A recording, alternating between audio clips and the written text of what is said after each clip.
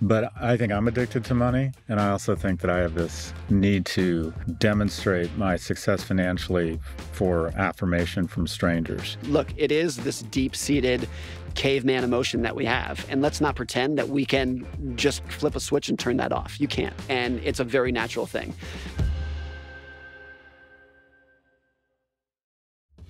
Morgan, where does this podcast find you? I'm home in Seattle right now. Let's bust right into it. You have a new book out, Same as Ever, A Guide to What Never Changes. In a tweet, you said that uh, psychology of money was about how you, the individual, behaves. Same as ever is about how we, the collective, behave and what we keep doing over and over. Unpack that for us. Well, I think a lot of this came for me as I, have been a financial writer for my entire career. And I think I became kind of disgruntled and jaded about how bad the industry is at forecasting. Forecasting the next recession, the next bear market, politics, whatever it is, just abysmal forecasting record. And then so from there, you can either do one of two things. You can just be a grump about it and, and be cynical about how bad we are at forecasting. Or you can say, look, we're actually very good at forecasting things except for the changes, except for those surprises. But what are the things that we that, that we do know are never going to change, that we know are going to be part of our future? And let's put all of our emphasis in that. One of the aha moments that really struck me for this there's a really good book called A Great Depression, The Diary. It was a diary written by this uh, lawyer in the 1930s who was just very observant of society, watching what's happening during the Great Depression. And as I was reading it, this post, this diary entry from 1932, I was thinking to myself, if you change the dates on this to 2008, it would fit in perfectly. Everything that happened in 1932 is exactly what happened in, in, in 2008. And then, like three pages later, Benjamin Roth in 1932, he writes, if you change the dates from 1932 to 1894, it fit exactly in. And in and 1894 is exactly what happened in 1874. So it's just like these like financial crises, it's the same story over and over and over again for literally centuries. The details kind of change, the characters change, but it's the same behaviors. It's the same greed, fear, uncertainty that happens over and over again. So it's like, okay, rather than trying to assume that anybody can predict the market, which nobody can, let's just put all of our emphasis in how we know people respond to greed and fear and uncertainty, knowing with certainty that that's going to be a part of our economic future, regardless of how the details might change between now and then. So, but the hard part is sometimes we have head fakes around going into a depression, and then we look back and say, oh, this was similar to another time, right? What psychology of money, to use your words, do you see right now? And what might that tell us about what might be in store for us?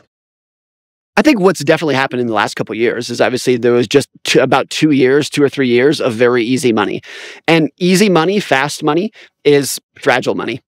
Uh, because when people make a ton of money in crypto, they make a ton of money in, in tech stocks, the emotional burden of letting go of that money, spending it, or blowing it on some other dumb investment is very low.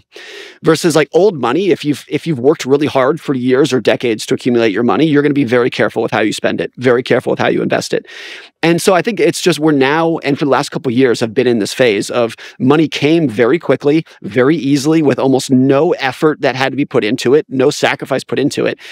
And then so a lot of the financial decisions that come of that are very poor, not just at the individual level, but the institutional investing level. Money in venture capital and private equity was so easy for years that a lot of the investments were made were just were garbage.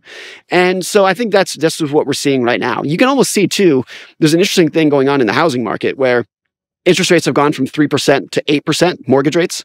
And by and large, prices have not gone down at all. By and large, that's true that is very likely just like a mark to market failure where people are assuming that their house is still worth what it was worth in 2021 but there's just no market there's no there's no actual transactions to market to. So you have this like almost wily coyote moment where very easy money a lot of bad decisions but a lot of consequences really haven't been paid so far in terms of the downside of paying that back. That's kind of where it feels like we are right now. So is one of those things denial the the housing market. It feels like we're in a standoff. I mean, there's the housing market is just so strange right now. This these interest rates where people are locked into their homes, a lack of housing permits.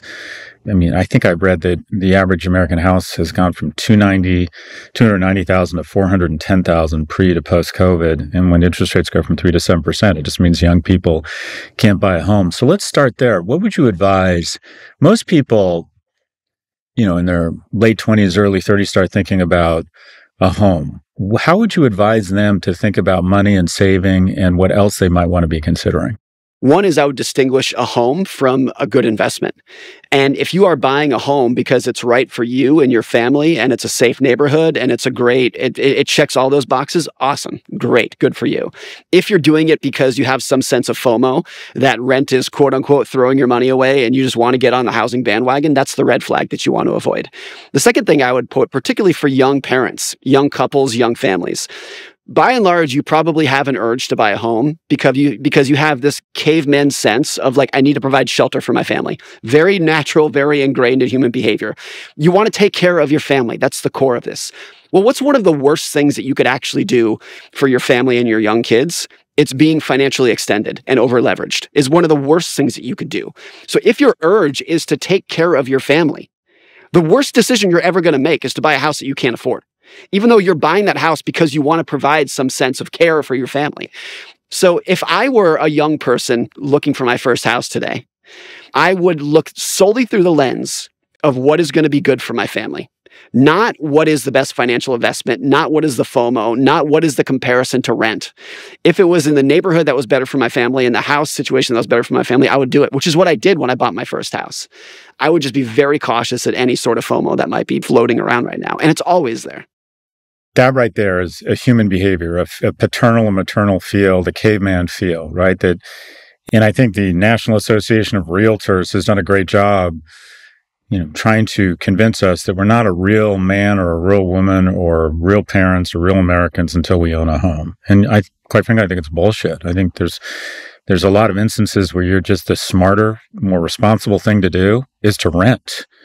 What are some of the other kind of key attributes or um, like you know behaviors emotions that you see emerging in what is kind of a weird time right now and how how it's impacting the economy and the way people think about investing and approach their financial life one of the chapters in my book might be one of my favorites is the idea that risk is what you don't see. Risk is what you're not thinking about. Carl Richards, a financial advisor, has this amazing quote. He says, Risk is what is left over when you think you've thought of everything. That's what risk is. So you can, as an individual, as an analyst, as an investor, spend all of your time looking at the risks in front of you, analyzing the risks in front of you. Great, you should do that.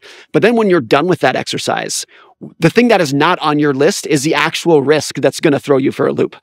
So in the last 20 years or so, it's been 9 11, Lehman Brothers, COVID, of course the common denominator of those is not just that they were big, it's that nobody saw them coming until the moment that they happened. And so I, I, do think we are, particularly millennials, my generation, is in this weird spot right now where I graduated college in 2008, teeth of the financial crisis. It was very easy during that moment to say, 2008, the financial crisis is bad. This sucks. This is miserable, but this is a one off event. This doesn't happen all the time. It was easy to tell yourself that. And then after 2020, after COVID made things, at least temporarily, even worse than they were in 2008, the economy shut down, 25 million Americans lose their jobs, stock market falls 40%. That I think left people with this idea that like, no, maybe this is just how the world works. Every couple years the world breaks. And I think because of that, you always have like there's always been this pessimism porn that exists online of it's so popular to forecast doom and gloom and if if you are an optimist, you look like you're a detached, aloof moron. Um, and, and I think that's more, it's easier to do that today than it's ever been, just because we've had all these surprises. One of the things I've learned as an investor, I think, is to unlearn what I think I've learned. And what do I mean by that? I find that every time I listen to my emotions, not every time, half the time they're right, half the time they're wrong.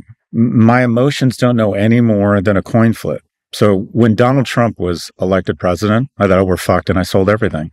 And the market skyrocketed. When COVID broke out, I sold a lot. I'm like, oh my God, it's a national, it's a global pandemic. And stocks did go down. I'm a genius. And then they ripped up and had some of their best. I have a temptation now, Morgan, to sell everything. I mean, we're due. We're due for a huge correction. And I'm just not going to do it. I'm going to stay diversified and try and ignore the catastrophizing and my own emotions and my own pessimism. What are your thoughts about? Uh, I'll start there. Ignoring your emotions when it comes to investing. Your thoughts? I think any way that you can mechanize your investing strategy is the right way to do it. Just to make it mechanical and to just say, this is the strategy and I'm going to do it come hell or high water. My friend Nick Maggiulli has a great book. The book is titled Just Keep Buying. It's it's kind of a, a you know promoting dollar cost averaging because when you dollar cost average, when you just say I'm going to invest thousand dollars on the first of every month forever, no matter what the economy is doing, I'm going to do it. You're taking the emotion out, out of the equation. You're not saying I'm going to do it when I think GDP growth is going to be above X percent, whatever it is. It's just taking it out to the extent that you can actually pull that off, which is another thing. It's harder to dollar cost average than it is to say you're going to do it. To actually do it in, in time, there's almost no investing strategy, even in with hindsight bias that you can create that's going to do better than that. I, have I've seen these studies where people put together these back tests that you would think would be so logical to say, look, let's back test with hindsight bias and say we're go- we're only going to invest when the PE ratio is below this amount, when the economy is at the bottom of a recession with hindsight bias.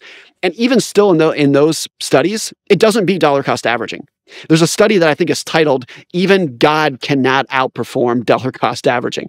And so that's and and the crazy thing about it is that it's the easiest thing to do. It takes no effort. It takes no analysis. You don't need to watch CNBC. You don't need to do anything. You just set it and forget it. so not only is it the easiest, it's the best over time. So it's not to say it's perfect. It's not to say it's infallible, but especially when you adjust it for effort, there's almost nothing else that will beat it. Yeah, it, it, I mean, it's really interesting. Uh, one of the things, another, well, a lesson I'd like to think is that, and it's kind of disappointing, is after being exposed to some of the quote unquote brightest minds in the history of investing, my takeaway is that nobody knows. and that's 100%. and that we all like to think that we're tapped into some proprietary resource or or knowledge or that we have a better gut or we listen to someone with a better gut and what i found is at the end of the day nobody knows. You said something that really uh, struck me, and that was invest in preparedness, not in prediction. What did you mean by that? That's a quote from Nassim Taleb, and I, I love it that that that that I use in the book. Rather than saying I'm going to predict the next recession and it's going to occur in in Q4 2024, making that up a much better way to think about risk is just to say that my asset allocation, the cash and bonds that I have, the flexibility and room for error that I have in my finances would be able to endure a recession whenever it happens. One of the ways to think about it is how does California think about earthquakes? Well, you can't predict earthquakes. You can't say it's going to occur next quarter. It's going to occur ne- at this point next year. There's no earthquake CNBC with people like pundits predicting when it's going to happen but you know it's going to happen. So when you are building your homes, when you're the EM firefighter, EMS crews are training, they're always prepared for it to occur at any given moment because you intuitively know that you can't predict when it's going to happen. I think thinking about recessions and bear markets in the same way is the best that we can do. So, like, there's a difference between a forecast and an expectation. A forecast is saying there, there's going to be a bear market in February. That's a forecast an expectation is historically the market has declined 20% three times per decade. And I expect that to be the case going forward. And psychologically and financially, I'm prepared for that to occur at any given moment. Because as we've seen with like all of the other 20% declines, they occur when you don't expect them to happen. And as you pointed out, the 20 to 50 to 100% surges occur when you don't expect them to happen. So quit the BS of like of assuming that you know when this is going to happen. And let's just set yourself up. Like put yourself in the game so that whatever happens you're going to benefit from it as long as you can endure and stick around for long enough. Yeah, sort of the basis of scenario planning is not trying to predict the future, but predict a series or a course of action that performs best across a number of scenarios. Isn't isn't that kind of what you're saying? Yeah, I mean, so much of this is like realizing what bet you're making. Like, what is the bet that you're making when you invest? And I think a lot of people, even professional investors, can't really answer that question. If you stuck it to them, they, they wouldn't really have a formalized answer. This is the bet that I'm making because they're following an intuitive hunch, like a knee jerk reaction of, oh, well, GDP is falling, so I think the market's going to fall too. Is it really that's the bet you're making when you verbalize it like that? It sounds pretty silly, doesn't it? I think the bet that I'm making as a long term dollar cost average into index fund invest uh, kind of investor is similar to what you said. I'm making a bet that over the next 50 years, the economy will become more productive, that the economy will grow. We're going to have more people who are better at solving problems 50 years from now than we do today, and that that benefit is going to accrue to myself as a shareholder. That's the bet that I'm making. And one of the other things that happens when you verbalize the bet that you're making is you realize all the other people who are making different bets are playing a different game than you. And therefore, the information that they're looking at and the punditry that they are speaking about on, on TV, it doesn't apply to you. It's not to say that it's wrong, but it's a different game than you're playing. So once you really like crystallize what you're doing and the bet that you're making, it can do one of two things. You instantly realize once you say it out loud that you really, it's a silly bet that you really have no idea what you're doing. And two, it really hones your focus on the kind of information to pay attention to and the people who you should pay attention to as well. Your book, I mean, it's interesting, Morgan. I think of you more as like a life coach and a financial advisor because whenever I read your stuff, I think you're using finance and investments as a lens to look at how to lead a more rewarding life. Your book is described as a master class uh, on living one's best life. How how can understanding you know the constants in your life lead to a more successful and fulfilling life beyond just financial comforts? Well, I feel like um, all investing is is the study of how people behave with money. So let's start there and recognize that it's a behavioral topic. Well, everything else in life is behavioral. Relationships are behavior, your friendships, your career is behavior, politics is behavior. Everything falls under the um, behavior umbrella. So there actually is a lot that we can learn from other fields that teach us about investing and vice versa. The first chapter of Psychology of Money is called The Greatest Show on Earth because I thought that finance is one of the starkest windows into how people behave in life.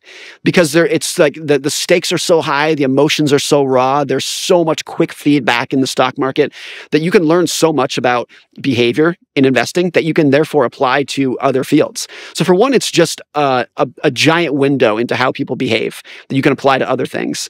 The other is like well what is money? Money is a tool that you can use to give yourself a better life and the the reality though is that a lot of people use it as a tool to foster some sort of addiction, to climb the social ladder, to give other people a scorecard for which to measure themselves by.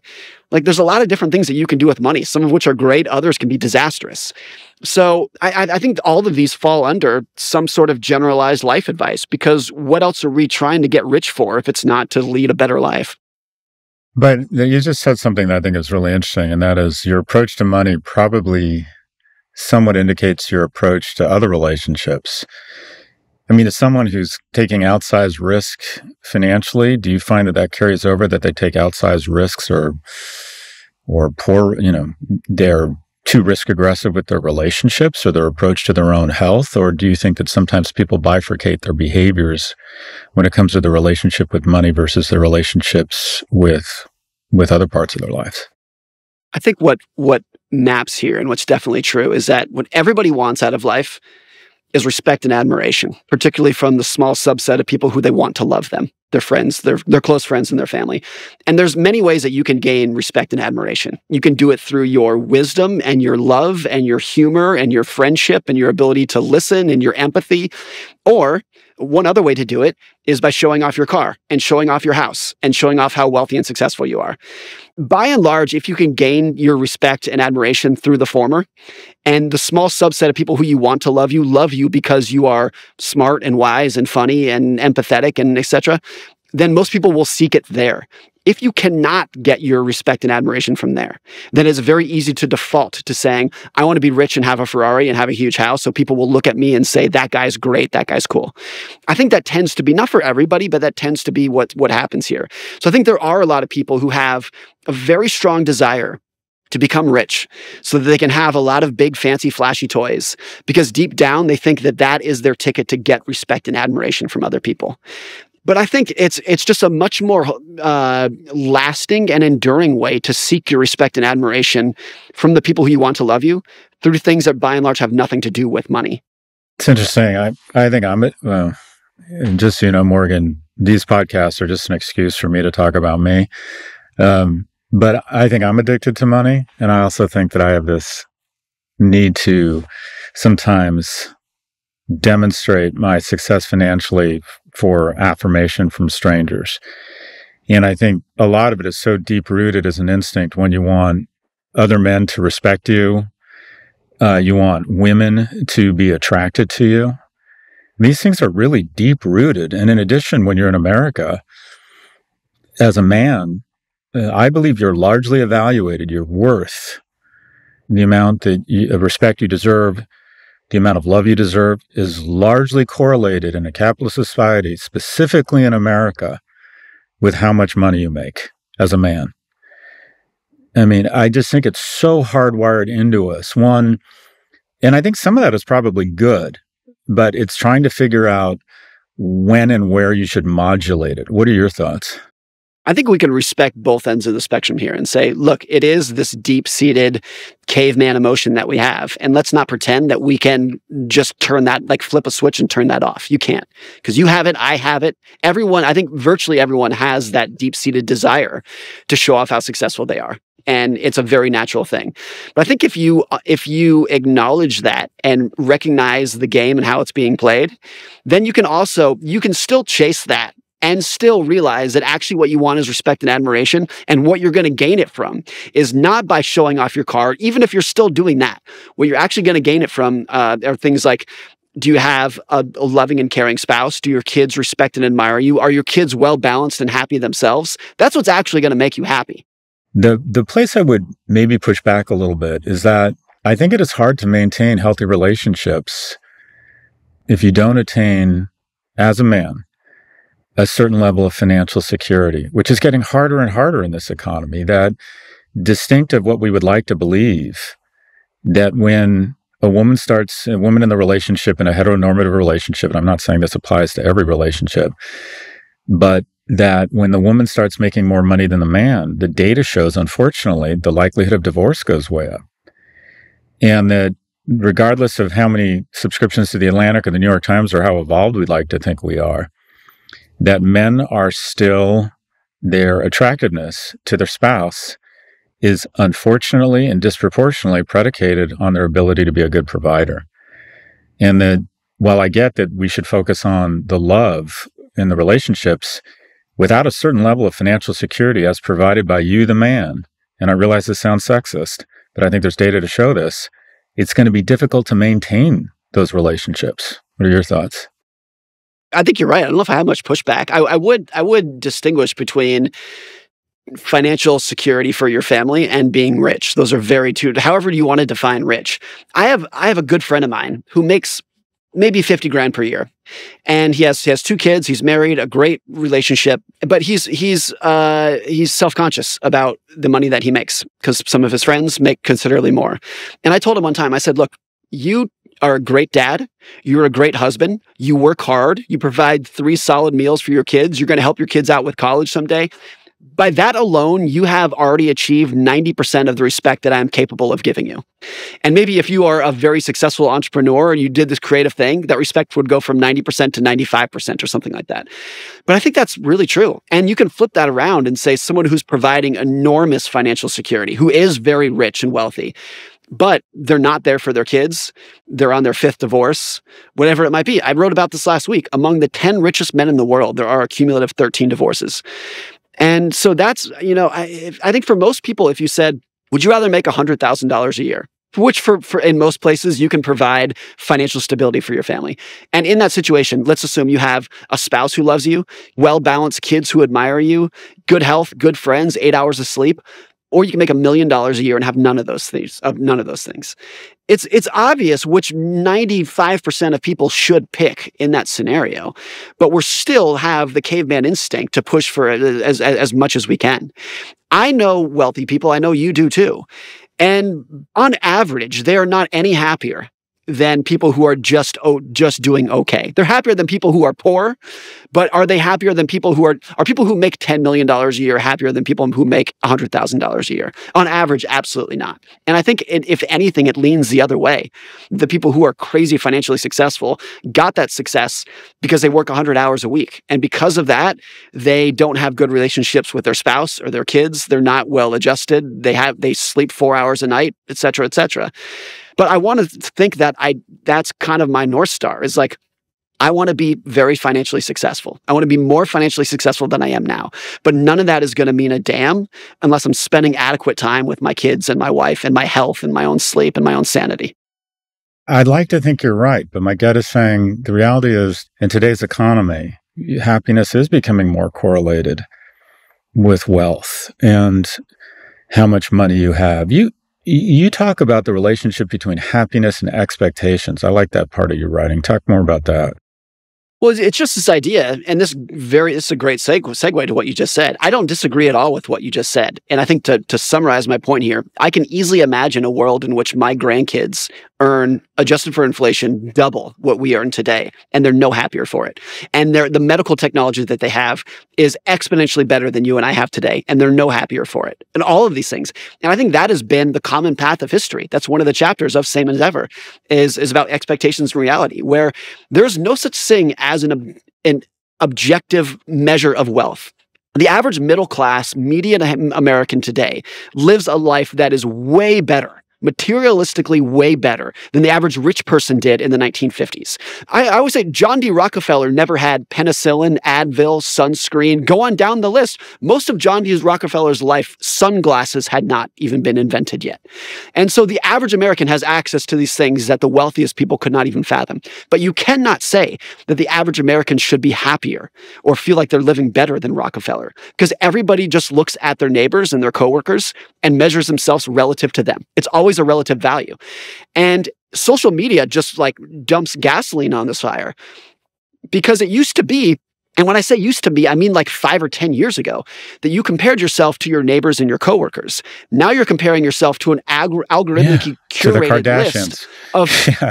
of people. Yeah, someone someone phrased this. I, I I forget who I need to give credit to here, but it's so brilliant. They said we went from keeping up with the Joneses to keeping up with the Kardashians.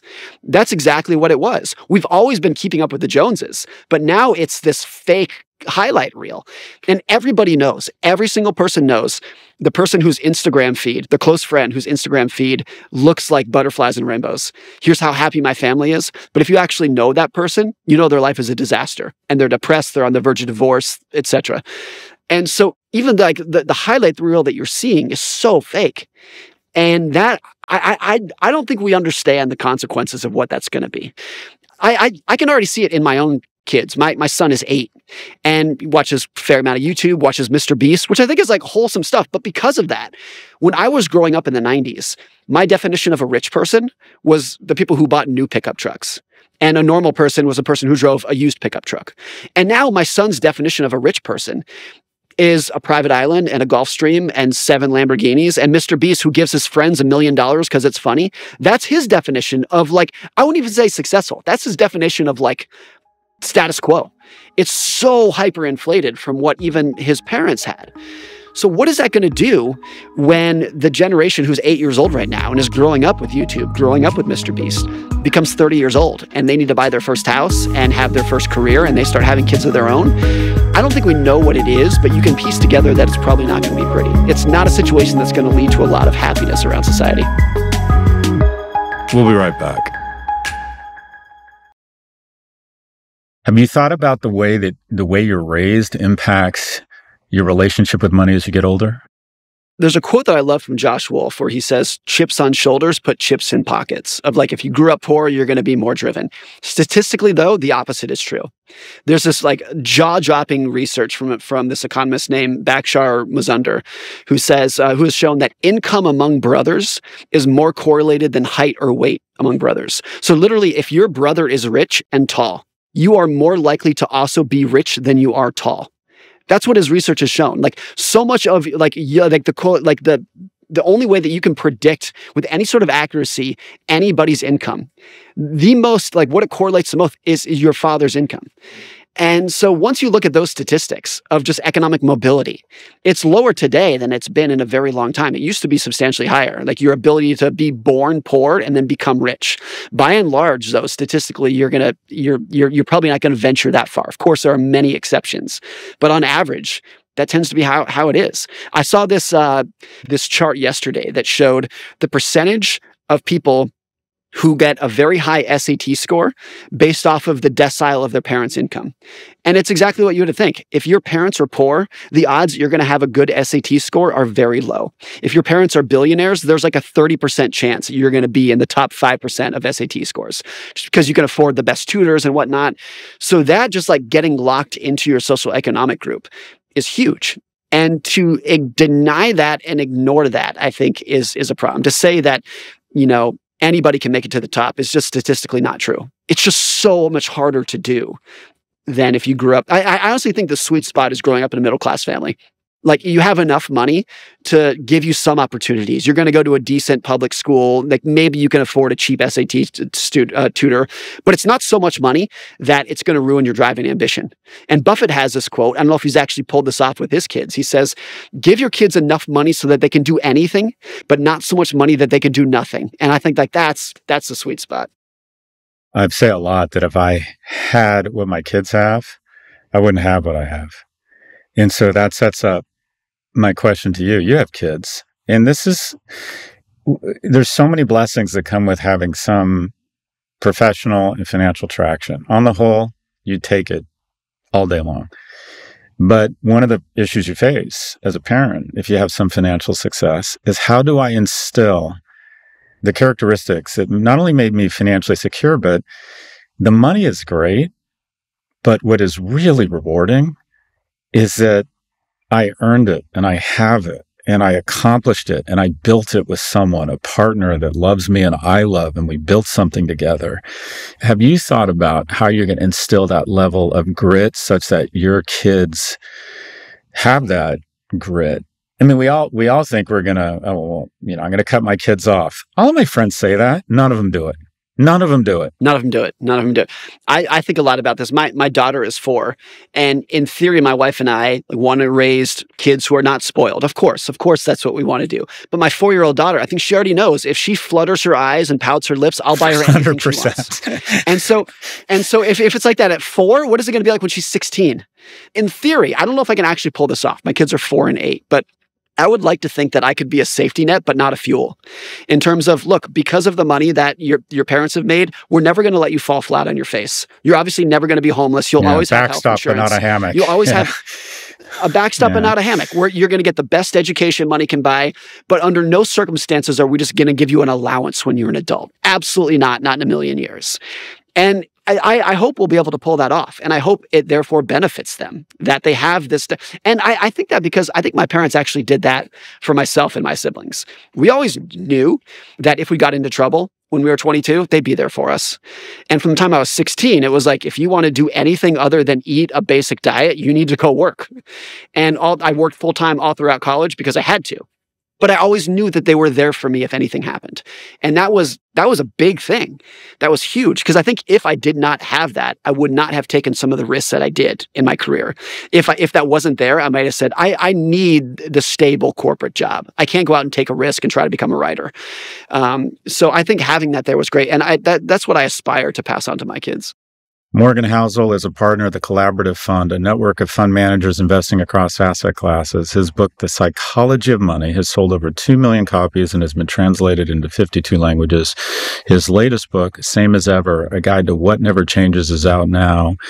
He joins us from his home in Seattle. Morgan, I think your books should be required reading in high school because in a capitalist society where money has a, a an unfortunate, unfair correlation to your your well-being you should be a component of health class in high school i think you have such a pragmatic healthy approach an emotionally balanced approach to um, financial security and ultimately uh, well-being i think you're doing great work my brother keep it up Thanks, Scott. I, I so appreciate it. As someone who, who has admired you from afar for many, many years, that, that, that means a lot coming from you. Thank you.